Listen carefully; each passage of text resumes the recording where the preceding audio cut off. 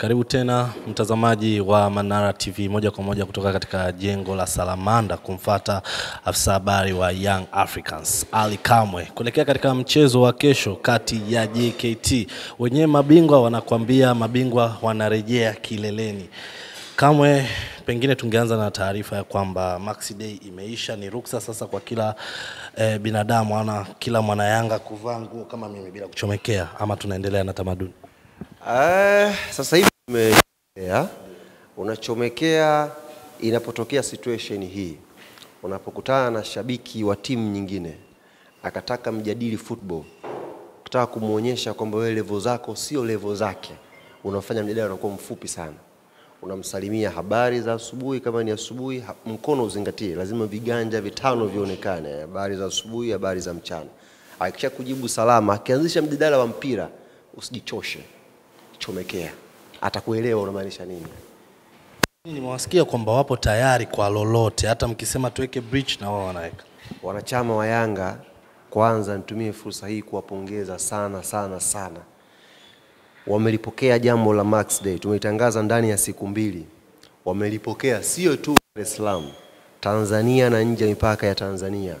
Ilikuwa Max Day ya kidunia, kila ambako mwanachama wa Yanga yupo alichomekea siku ya Max Day. Kwa hiyo niwashukuru sana mashabiki wa Young Africans na wametupa moyo viongozi wao kwamba wako tayari kuendelea na ubunifu mwingine tutakuja nao. Sasa hizi napokea mapendekezo mengi kweli kweli. Wako wanaosema twende na Bakari Nondo Mwamnyeto, tubebe nondo tu tuje nazo uwanjani. Eh, wako wanaosema yes, hii picha tija anaonyesha hii hii, unajua ni, ni, ni, sio sio sio sio sio Buguruni hapo, ujue, umeelewa? Sio Buguruni, ilete hii kidogo hapa, sio Buguruni hapa. unaona bwana, hapo ni China. unaona eh, hiyo ni China hii shekhe. Huyu ni Kim, au hata kama majina wajua hapa tu, Kim Jong Lee eh, na huyu ni mdogo wake Umeelewa? Kim Jong Lee na mdogo wake. Hawa ni wananchi. China hii kaka. Eh, sio Buguruni hapa, eh, Malapa. Hii ni China hii. Max Day. Ilikuwa ni kilele cha kidunia. Eh, Yanga walipokea kidunia. Kwa mapendekezo ni mengi sana. Twende Bakari Nondo Mwamnyeto. Nimeona pia mshairi amesema siku ya Dickson Job kwa sababu anatumia jina la utani la The Shark. Wanachama wa Yanga tuingie na samaki tu pale Chamazi. Eh, nimeona mapendekezo mengine ya mshairi anasema ikifika simu ya, eh, siku yake na yeye tuvae magloves wote tuingie na magloves pale Azam Complex. Nimeona wengine na hapa sasa ndipo pamenichanganya. Kina kaka wengi wanataka twende na Pakome wapige bleach kichwani. Na hii president wa Young Africans Engineer Hersi amesema siku mkiileta atakuwa wa kwanza mimi kupiga bleach Kama alivyofanya kwa Max. kama kwa Max atapiga bleach na yeye. Lakini mapendekezo mengi ya kina dada wanataka Aziz Ki Day. Sijui wanataka kufanya nini. Hiyo itakuwa balaa. Eh, Unaona unajua eh? yani nimepokea message nyingi hasa hasa kina dada wakaambia, Ali inayofuatia weka Aziz Ki Day tuna jambo letu. Kwa hapo Aziz na Moroko inakuwa siku yao. Eh, sasa hapa wataka kufanya nini hawa dada sijaelewa. Lakini niwaambie wanachama na mashabiki wa Young Africans mechi zetu za kimataifa tutakuwa tunazipa sasa hivi uh, branding yake, thamani yake tukizirelate na wachezaji wetu. Tunataka tubadilishe kidogo mfumo tuone namna gani hizi mechi zinakwenda sambamba na wachezaji wetu. Kwenye ligi kama inatokea special moment zile na tuka- tu- tukaingiza hiyo au kwenye FA tukaingiza, lakini hii package ni package special kwa ajili ya Champions League. Tunataka tuwauze wachezaji wetu. Unaona kwa mfano Max, sijaona mchambuzi yoyote akifanya tathmini nzuri ya lile tukio la Max, impact yake ni nini. Sijui hawajui, sijui hawataki. Max kwa mfano, tunaposema natengeneza brand ya mchezaji, baada ya tukio la Max Day zile siku mbili, hata mtoto mdogo alikuwa anajua Max ni nani, kwa sababu alikuwa akipita nyumbani, baba yake amuona akachomekea, atauliza Shabiki hapo chini amekataa kufanya na mimi interview mpaka nichomekee. mpaka uchomekee. Ndio ujue tulikuwa tunauza jina mchezaji, tumeuza mchezaji, tumemuuza mchezaji wetu. Nimeona watoto wengi wakichomekea na walikuwa wanafata ule mkumbo wa Max Max, wakaanza kufuatilia Max ni nani. Ulikuwa ukipanda bodaboda ambayo ni shabiki wa Yanga anaiendesha amechomekea, utamuuliza mbona umependeza, akamwambia leo dada ni Max Day. Kwa tulimuuza mchezaji wetu ili watu wakamfahamu Max kwa ukubwa kwelikweli. Leo hii msishangae zikatokea kampuni zikataka kuendoze kwa Max zifanye naye biashara maana yake tayari tumeuza brand ya ule mchezaji, na mwenyewe Max kwenye siku yake alijipambanua vizuri, katia kamba mbili, katia assist, ameonyesha kwamba nimeibeba siku na jina langu limeenda sambamba na siku. Kwa hiyo kuna value kubwa Max aliipata kwenye ile siku. Nobody aliweza kudig hizo information akazileta hadharani. Lakini moja kwa moja, labda pongezi ziende kwako, na tumemwona hata rais eh, amejitokeza hadharani kukusifia. Pengine Watanzania ambao wangependa kufahamu, alikamwe afisa habari wa Young Africans, nini hasa ulikiwaza kwa Max? Maana shughuli ilifaana, umemchagua Max, kafungua goli na kafunga ukurasa wa magoli, siku imeenda fresh kabisa. Kitu gani hasa kilikujia akilini na hii eh, sherehe kwa ujumla? Uh, kwanza sisi hapa Yanga unavyotuona hapa sisi sisi tupo kama familia.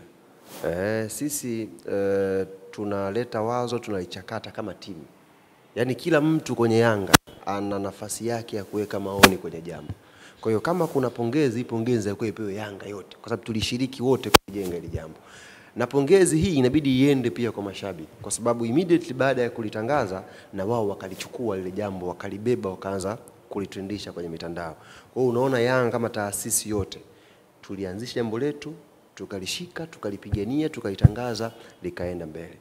Idea behind ulikuwa ukitazama mchezo wa Asas ule marudiano, ulikuwa uoni uh, kuwa na level fulani ya competition ambayo inaweza kumhamasisha mshabiki kuja uwanjani. Yaani ukimwambia kwamba leo tunaenda kumpiga nyingi Asas, ni obvious atapigwa nyingi.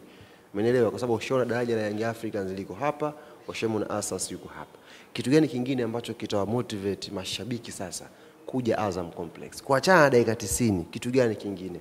Tukakaa tukasema tutengenezeni mtoko sasa kwenye mechi zetu. Yaani mtu aje kwenye mechi yetu isiishie tu dakika 90, kuwe kuna story nyingine ambayo ina support hilo tukio. Ndio tuka create Max Day, watu wakaja, pakapa na burudani ya mziki, watu wakacheza, wakaenjoy na ukifuatilia majukwaani saizi mashabiki wa Yanga tumeanzisha ile mwananchi hidden camera. Mashabiki wa Yanga sasa hivi yani wako excited mno, yani goli linafungwa tayari mtu ana jasho, maana yake ameshafurahia kabla mechi ijaanza, anafurahia mechi ikiwa inachezwa na anafurahia baadaye. Sasa hichi ndio kitu ambacho tunasema tunafanya fans engagement ambayo mashabiki waje kwa wingi viwanjani. Tunataka tuongeze njia nyingi nyingi za kuhamasisha watu kuja viwanjani. Hii tumeanza nayo na tutaendelea kuboresha zaidi na zaidi na zaidi kuhakikisha kwenye mechi zote za Yanga, ni ligi, ni FA, ni Champions League, ni Mapinduzi, wana Yanga wanakuwa wako tayari kuja uwanjani kwa sababu wanajua wanafata kitu zaidi ya mpira ambao wanaolipia shilingi elfu tano. Turudi moja kwa moja kwenye ligi kuu ya NBC. Afisa habari wa JKT Masau Bwire amesema sisi sio kama wao na walichokifanya dhidi ya Namungo ilikuwa ni matayarisho tu kwa ajili ya Young Africans. Mjiandae kisaikolojia. Okay. Masaubiri alichokifanya ameenda kwenye msikiti mpya, lakini imamu ni yule yule. Kwa hiyo unajua muda gani atapiga adhana, unajua muda gani ata- atakim swala na swala ataswalisha muda gani. Kwa hiyo hatusumbui huyu mtu, tumeshamzoea na hatupi pressure yoyote.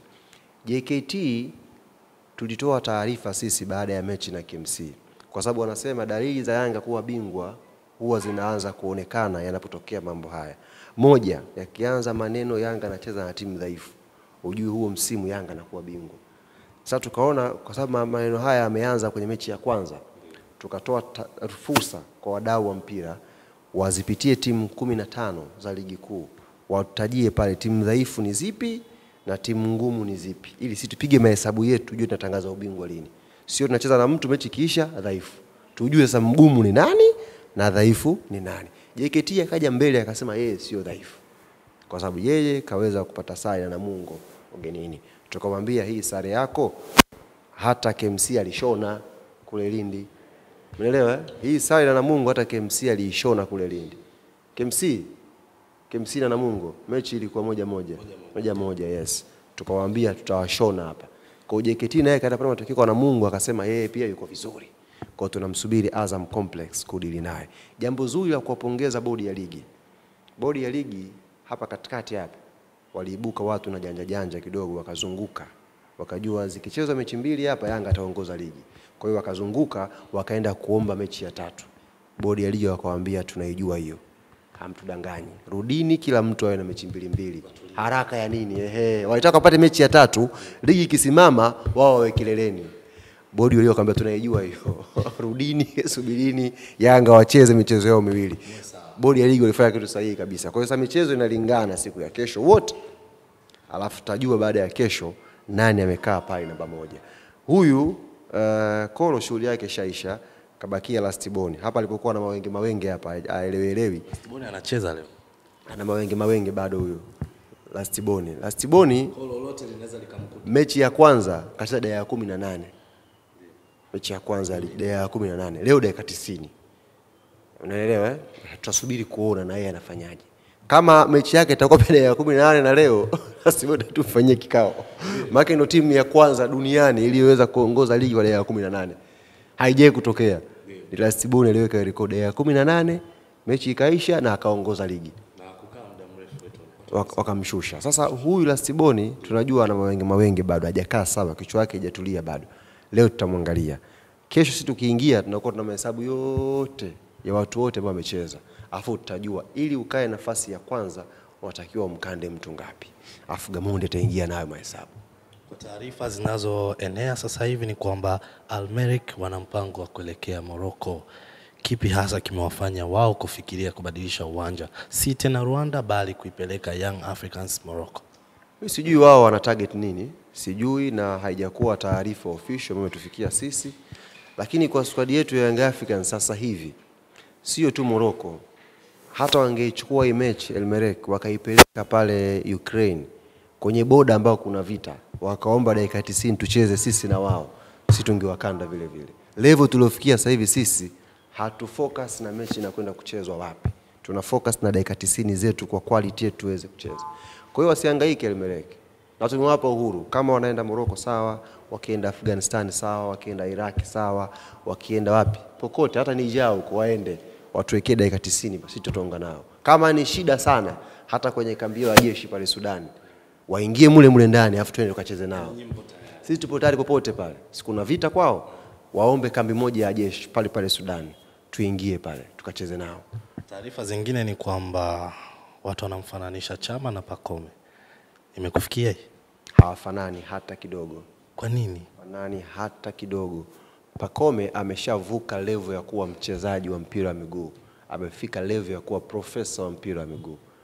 Na hili jina linasemekana ameanza kulipata tangu elfu mbili na kumi na tatu huko. Na 2013 mashabiki wa ASEC walikubaliana, kuna ambao walikuwa wanakwenda uwanjani kuiangalia ASEC na kuna ambao walikuwa wanakwenda jukwaa maalum wanakwenda kumwangalia Pacome. Kwa hiyo unaofananisha mtu ambaye amepata uh, kadigri kake hivi na liprofesa fulani hivi ni mbingu na ardhi. Pacome yuko mbali mno shekhe, yuko mbali mno, kashavuka level hii ya kuwa mchezaji ambaye anaweza akacheza dakika 90 tu basi Lakini Chama ameshinda kila kitu. Sasa kushinda kila kitu. Nimempa mfano ndugu yangu Abdul Mkeenge, Real Madrid wana kipa namba tatu na yeye ameshinda kila kitu kwenye maisha yake, ameshinda kila kitu. Man City pia wana kipa namba tatu na yameshinda ameshinda kila kitu. Kwa hiyo kushinda kila kitu sio fakta moja kubwa ambayo unatuambia huyu mtu anajua kuliko huyu. Wako watu wanajua kwelikweli, hawajai kuchukua uh, World Cup. Wako watu wanajua kwelikweli, hawajai kuchukua Champions League. Kwa hiyo kushinda kila kitu sio fakta peke yake kusema huyu ni bora kuliko huyu.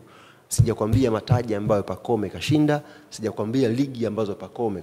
Pacome kacheza uh, ligi ya Ufaransa shaka Unaelewa? Unaofananisha Pacome ujue unafananisha mchezaji fulani hivi kubwa kwelikweli, profesa, yani mtu ambaye kashavuka levu hii ya kawaida ya kucheza mpira, yupo kwenye levu ya kufundisha mpira.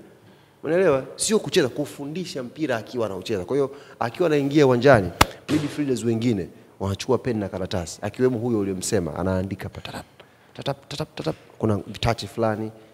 Pacome anapiga miguu yote miwili kwa usahihi, kulia kama kushoto ana kasi eh? Unaelewa bwana, Pacome ana speed, anaweza kafika kwenye maeneo akarudi kukaba, anaweza akachezesha timu, anaweza akafunga anavyotaka. Unafananisha na nani nchi hii Pacome? Pacome yuko mbali mno mno mno mno, na haya maneno haya hayafai kuongelewa midomoni. Tuupe muda wakati akaongelewe kwenye pitch. Mbona Pacome ana mechi mbili, tuseme amekuja akawa chezi tayari mechi mbili tena ambazo anaingia ingia kutokea benchi, mshaanza kumfananisha na watu. Tulieni, Pacome afikia asilimia mia moja fitness yake. Hapa tunavyozungumza ana asilimia thelathini tu ya utimamu wake wa mwili. Haya mlioyaona haya ni 30% ya fitness ya Pacome yani ile ndo fitness yake. asilimia 30 pale hayuko form kabisa, yaani pale hayuko form. Rais wa ASEC alimwambia engineer Hersi, hayo mnayoyaona kwa Pacome hayo ni asilimia 30 bado. Sisi huku ligi iliisha, chama cha mpira kikampa yule bwana gari, unaelewa bwana, zawadi ya gari, alafu mashabiki wakawa wanamtilia mafuta, yaani alipewa gari, yaani kama TFF watoe gari kwa Pacome, alafu wa mashabiki sio wayanga wa mpira wa miguu kote Tanzania wanaenda sheli wanalipa. Baada zamu yangu leo laki moja hiyo full tank ya Pacome, umeelewa? Alifika level hiyo Ivory Coast, unafananisha na watu hapa ni visit kidimbwi kweli? tugeambi bwana, Pacome yuko mbali mno, mbali sana shahe, mbali kweli kweli, ni profesa mpira. Wachezaji hawa uliwasema wenyewe wana ndoto za kuwa kama Pacome hao wote uliwasema wenyewe wana hamu ya kufika kiwango cha Pacome. Acha muda huu wasome, usiwashindanishe, acha wajifunze kwanza kwa profesa vitu. Tumezoea mashabiki kutoa zawadi kweli kweli, ng'ombe na vitu kadhalika. Umeshasema pakome alipewa gari, tutarajie kitu gani kwa hususan kwa mashabiki wenye mapenzi ya dhati kabisa na wachezaji wao? Dar es Salaam kugumu, Dar es Salaam kuzito. Eh, Dar es Salaam kuzito kwelikweli. Ya tukianza kwenda mikoani ambako kuku wako wengi kule, ng'ombe eh, Mayele pia alipata ng'ombe mkoani eh, waka- wakamsafirishwa akaletwa. Eh, kuna kuku tulipataga sijui Mwanza, kuna samaki, kuna nini kule. Tukifika kule mikoani sasa, Pakome akiwa anapeleka burudani kule, tutapata vitu vingi sana naamini. Lakini Dar es Salaam hapa kuzito eh, kuzito kwelikweli, hali ni ngumu, watu kila mtu ajifanya yuko bize, kila mtu anayejua hela eh, kila mtu kababasha akaki mjini mjini hapa shehe eh, ukiona mtu akupa mia tano ah, nakujali kwelikweli, mshukuru lazima utembee na leso. ah, lazima jasho eh. Ali, tumalize na hili. Uliwaza wapi kabla ya msimu kuanza? Uliwaambia mashabiki wa Young Africans watulie, akili tulie, kwa sababu aina ya usajili ambao umeufanya unatisha hata kuelezea. Taswira yako inakuaga wapi hasa? Maana mashabiki kipindi Mayele anatangazwa kuondoka, Faisal Salum, yani Litombo Bangala na baadhi ya wachezaji, hofu ilitanda kweli, lakini sasa hivi sidhani hata kama kuna mchezaji, kuna shabiki anawaza Mayele kaondoka au Faisal Salum. Professional kwanza, mimi ni kocha e, na license ya ukocha, na hapa mwezi wa kumi nitakwenda kusoma license B. Maana yake nipo katika levo ambayo shirikisho la mpira wa miguu barani Afrika linanitambua kama. Ukiingia kwenye system ukiandika Ali Shaban Kamwe, kule hawanijui kama afisa habari. Kafu watashusha dite papo, watakwambia huyu ni kocha wa boli yuko Tanzania. Sasa taaluma hiyo nimeitumia vile vile kwenda kuifanyia kazi yangu ya usemaji kuwa nzuri. Wakati usajili umekamilika, mimi kwa nafuata, sikuwa sikuwa sizungumze sana kuhusu usajili, niliacha watu wazungumze, wengine watangazi wagonjwa wao hawa na nini na nini, tukatulia. Avic pre-season ikaanza, sikwenda wiki ya kwanza, sababu najua mpira wiki ya kwanza huwezi kwenda kuona wachezaji, waendelea kutengenezwa kwenye fitness zao, wanajengwa. Ikaja mechi pale Yanga na Magereza, nikasema leo acha niende Avic Town, sio kwa sababu ya mchezo, kwa sababu ya kwenda kuangalia quality ya wachezaji wangu. Kufika Avic Town, nakumbuka engineer Harris alikuwa yuko Marekani kwenye holiday yake, mimi nikaa nimetulia hivi naangalia boli, kaa naangalia speed ya Yanga ikiwa inacheza, nikaa nafanya comparison ya timu ya msimu uliopita chini ya Profesa Nabi na timu hii ya Master Gamondi, build up yake kutoka chini kuja kwenye eneo la juu. Nabi alikuwa anatumia muda mrefu sana kufika lango la mpinzani, na hiyo sio jambo baya, ni style, ni, ni, ni playing style yake. Nataka ni possess sana mpira, nisubiri njia zifunguke, tupenyeze twende. Ndio maana most of the goals ambazo Yanga ilifunga kwa Nabi 60% ni counter attack. Tulikuwa tuna sana, mtu aje afu tuvushe ule mpira, Maeli akimbie, tuvushe mpira, Moroko akimbie, tukaatake na mwisho tufunge. Hiyo ndio ilikuwa playing style ya Nabi. Nikaenda kumwangalia Gamondi, ni kama mtu anacheza PlayStation. Yaani tunatoka vifungu vifungu ta ta ta tunaingia kwenye wengi tunaingia ta ta tunaingia wengi kwenye box. Nikasema wa nature ya football ya Tanzania, Yanga hii ya Gamondi itasumbua sana, kwa sababu wachezaji wamejengwa vizuri fitness zao na playing style yao inavunja zile line za mpira kwa haraka kuingia na wanaingia wengi. Baada ya pale nikawa naangalia quality ya mchezaji mmoja mmoja, pressing ya timu ilivyokuwa inafanywa, akaangalia passing ability ya beki zangu zilikuwa au ziko comfortable kupiga pass midfielders, alafu second half mwalimu akamuingiza Pakome, la haula wala quwata. Baada ya Pakome kuingia, nilikuwa nimekaa jirani na Mubenga, ningekuwepo angekwambia Mubenga, tulikuwa tumekaa jirani. Pakome alivyoingia kwenye ile mechi, tachi zake nne tu, nikachukua simu nikampigia engineer, tachi zake hizi. Nikamwambia engineer, umesajili wachezaji msimu huu, watu wanazungumza kuhusu Maxi quality yake, wanazungumza kuhusu Gift kutoka Uganda, zungumza Kibabage, sijasikia watu akimzungumza Pakome, lakini nakuhakikishia kwa levo yangu ya kujua mpira, umesajili mtu anayejua sana mpira. Kama kocha. Tachi nne tu za Pakome, yani receiving yake akiwa anaachia. Ile mechi yetu mpaka tubidi tutengeneze highlight tukaziposti YouTube kwa lengo la kuwaambia mashabiki wetu, jamani, kuna balaa alipo Gavik Town. Kuna tachi moja alichukua na kulia yule afande mmoja magereza akaja speed speed, yani within a second fumba na kufumbua tata, akapigwa mtobo, unaelewa? Yani imekuja pap, mtu aje akapewa tobo lake akaiswitch kwa skudu kule ya pili kaya juu akatia kifuani akamwekea Azizi. Nikamwambia engineer, tumeshusha mtu wa maana kweli kweli, mtu kweli kweli anajua mpira. Kaambia kweli, nikamwambia kweli, bwana, nitumieni hiyo mechi nione. Kutokea pale nikawa nikija sasa kwa, kwa, kwa waandishi wa habari kuzungumza nao, nikawa na uhakika na nilichokiona hivi, na ndio maana wakati namzungumzia Pacome mwanzoni, kocha alikuwa anajenga fitness yake, haonekani watu wakawa nasema mbona afisa habari anasema Pacome anajua mpira, kocha mpangi wewe maneno alianza hayo. Tuna Pacome tunaambiwa ni profesa. Mbona hapangwi? Kocha ananiambia anajenga fitness yake. Mtu hataki kuanza haraka haraka. Sababu kipindi kile fitness ilikuwa asilimia tano. Mimi nilichokiona. Sasa hivi kafika 30 sababu pressure ni kubwa mashabiki, ibidi kocha ampange. Lakini wale walikuwa vumilivu, Pacome angefika asilimia mia moja. Kuna siku pale Yanga tungecheza mechi tatu sita. Yaani vile kitayose vile. Yanga tungecheza vile, alafu Pacome akakaa vizuri nafasi zote. Akifika asilimia mia. Maana Yanga unaweza ukacheza na mabeki wanne, ukacheza na Aucho, afu Max na, na Pakome, ukashinda mechi. Yaani ukacheza na mabeki wako wanne, ukampanga yao yao, ukampanga Lomalisa, ukampanga labda Diki na Mwamnyeto. Hapo ukamweka Aucho, watu watano. Afu mbele we mpange Max na Pakome.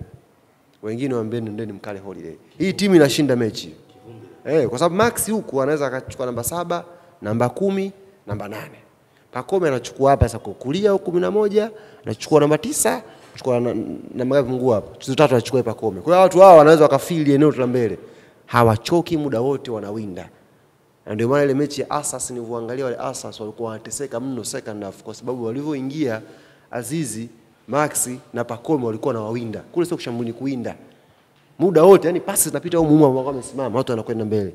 Kasema Yanga ipo katika level ya juu mno. Kwa hiyo taaluma yangu ya mpira ilinisaidia kujua quality ya timu yangu. Ndio nikiwaambia mashabiki, Yanga ya msimu huu ingekutana na Yanga ya msimu uliopita, Yanga ile na hii mkenge alikoti nifuatilia, niliwaambia kauli, watu wakanitolea sana maneno.